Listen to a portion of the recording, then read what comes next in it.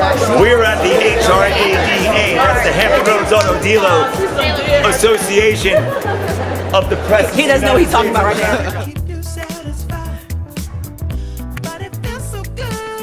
Call it the car show from here on out. What do you think about that? The car car show. I like that. No, but DA? today we're giving away $1,000. This is awesome. We've been doing this for years now.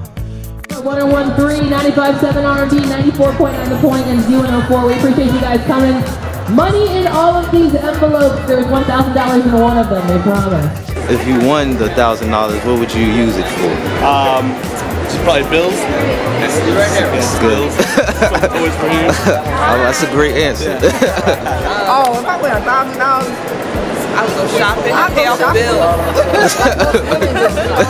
Probably go on a vacation.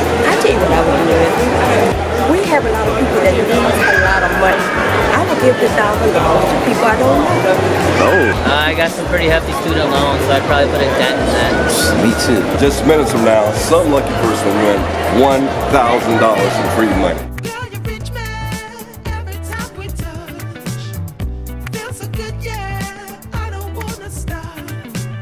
Somebody gave you a thousand dollars right now, what you gonna do with it?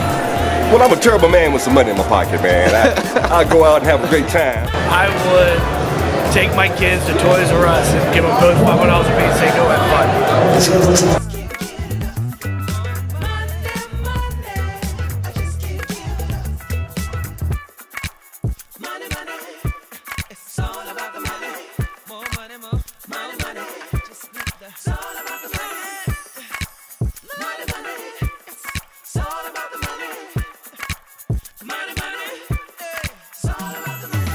Uh, do trust Shaggy to walk you out to your car. Do not trust Shaggy to walk you out to your car. He's not security. He's not security.